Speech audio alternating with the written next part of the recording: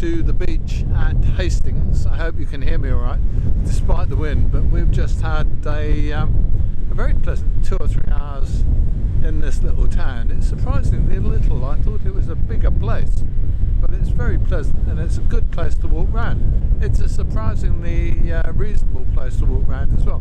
For some reason, I always had the view that. Uh, South Coast towns are going to be expensive, you know, dear to buy stuff, but we found a few little bargains in the shops. We found a really nice OAP fish and chip lunch in a, uh, a local chip shop restaurant. That was really tasty, five ninety five, and there was loads, so that's really good. And we had uh, generally a nice little outing, we've now come down to the beach to sit in a free car parking space and uh, look at the sea and read a book and enjoy the sunshine. If it was a bit less windy, we'd get our deck chairs out and sit out, but it's still a bit breezy and the wind is a bit nippy. Okay, I'll see you